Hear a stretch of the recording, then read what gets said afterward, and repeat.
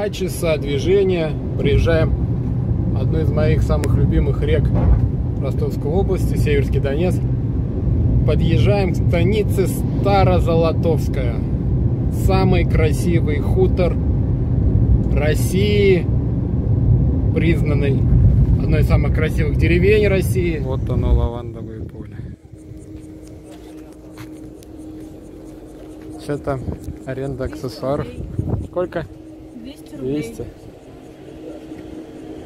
200 рублей вход. Вот за 200 рублей мы пришли на лавандовое поле. Для чего, Женя? Лаванда. Правда, она что-то уже вроде пахнет, вроде не сильно. Видимо, отцвела.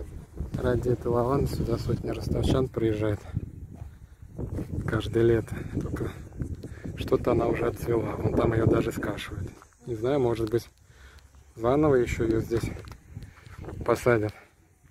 Ну вот ходим, пытаемся сделать фотосессию. Ну, пока не очень сильно получается. Here I am where the movie started Facing at a photo they've taken Space tree flying through the skies And petals happen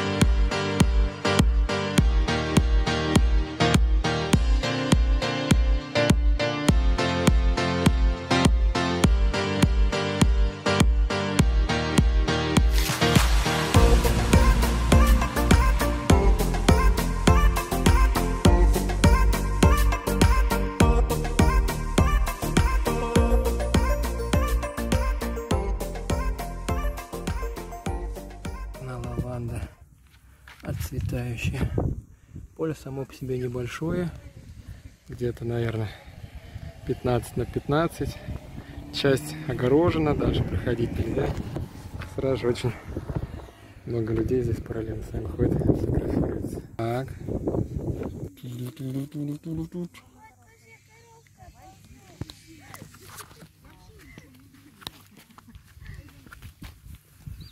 Немного пофоткались. Постарались найти какие-то интересные ракурсы. Не знаю, что из этого получится. Ну, едем дальше в сам хутор. Посмотрим старинные дома, которые использовались в съемках фильмов сериала «Тихий дон». 800 от лавандового поля перед спуском вниз начинается музей. Здесь нужно оставить машину, потому что внизу могут ездить только жители Старозолотовска. Здесь их проживает, по-моему, всего несколько десятков человек. Остальные гости, которые приезжают сюда, как мы, погулять, должны машину оставить наверх. На берегу реки Дон. Совсем недавно, где-то лет 10, наверное, 15 назад снимали одну из версий Тихого Дона. Уже российскую версию. И вот сейчас здесь, сюда вот а, местный олигарх, как его зовут? Я забыла. ну, Гзденов, кажется, да, перевез сюда э, несколько срубов, которые использовались в декорациях к Тихому Дону. И сейчас украсил хутор Старозолотовскую имя. Сейчас мы их посмотрим. Такая удобная дорожка ведет к низу. На улице сегодня 35 градусов. Вдоль всей дорожки расположены скамеечки с зонтиками. Красивые декорации.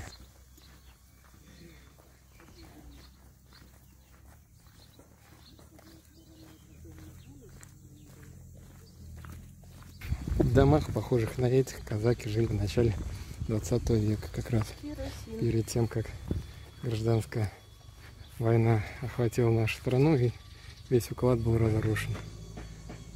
Смотрите, какая красота, спокойствие, крыши покрыты камышом. Раз вертолетная площадка. Сюда на вертолет прилетают высокие гости из Ростова, ну и не только из Ростова. И не только на то, чтобы посмотреть музей, просто здесь места красивые. Клумбы интересные в виде, лошадки везущие кучу-кучу горшков с цветами.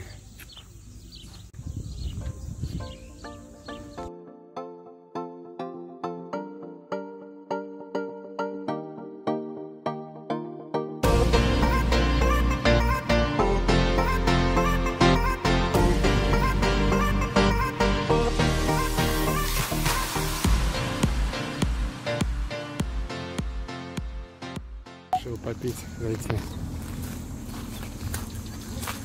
Таким огромным капучино накормили нас, напоили нас в этой уличной кафе в Старозолотовской. Ну как, тебе окрошечка?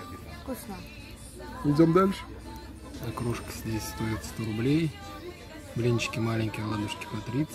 Компотик 30. Капучино 100. И уха самое дорогое, что тут есть. Очень вкусное. С икрой. Сезона 120 рублей. Старозолотовский котенок. Сидит, чешется. Об мусорной ведерко. Детская площадка, если приехали. Ну, с нашим, наверное, тут уже неинтересно было для малышей. Курительная площадка. Вон как дрянной флюгер показывает ветер, куда дует. Видимо, для прилетающих сюда вертолетов это очень важно.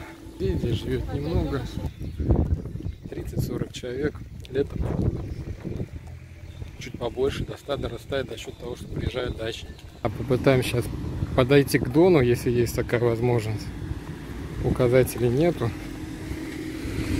Пляж, что он находится сверху. Ой, музей сверху. А здесь уже пошли жилые дома. Так, тут тупик. Чья-то частная собственность, прямо на берегу Дона. Пароход запрещен. Ну как-то же можно пройти к реке.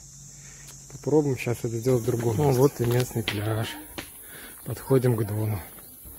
Первый раз в этом году есть возможность помочить ножки в этой нашей великой реке. Жене нас смущал какой-то звук постоянно, как только свернули в сторону шахты. Остановились и выяснили, это так громко здесь орут на протяжении всего пути, и здесь же Старозлатовской цикады. Пляж белый, чистый, красивый, лодочки, мостики. Возвращаемся от пляжа к тебе в машину. Все-таки решили немножко покупаться. Вещи оставили там. Вот какие здесь красивые домики прямо на берегу Ох стоят. пекло. Соберете сюда, все-таки лучше в более спокойную погоду. Потому что, А бывает пожалуй, такое. даже Дон здесь не помощник. Потому что наверх к машине идти при 35 градусах тяжеловато. Ну, деревушка такая, конечно, симпатичная, красивая. Сейчас мы еще пройдем либо проедем Проедем. в другую часть, которую он затем бугром рассказал. Красивая деревушка, все так уютно раскрашено у них разными цветами, не только домики, а даже заборы. Зелено, чисто. Зелено, чистенько, да. Маленькая она, за счет этого уютно. Это мы уже едем по зеленой части, ой, по заселенной части Старозолотовской. Тут уже как раз живут сами хуторяне и дачники, которые приезжают сюда. Рядом с магазином Старый Дон. Он, кстати, работает только до 5 часов. Есть вход на пляж. Через Сельский вот этот пункт. Калиточку заходите и пошли вниз. Ну, он больше, чем в той части хутора. И зеленый. Везде тут деревья. Поэтому есть где спрятаться от солнышка. Вода тихая, спокойная у берега. Женя пошла купаться. Вообще Дон, конечно, классное место для купания летом. Местами здесь от Пухляковской, Старозолотовской, песочек, как доминикань просто, белоснежный.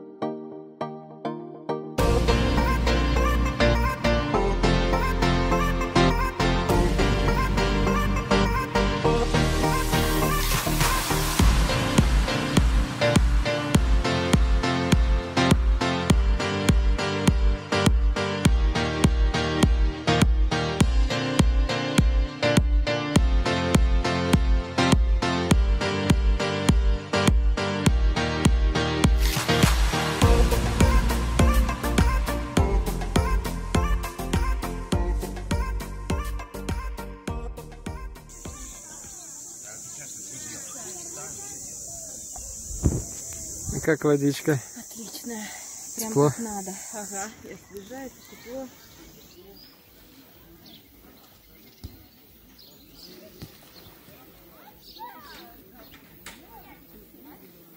Ну как тебе Старосула- Золотовску?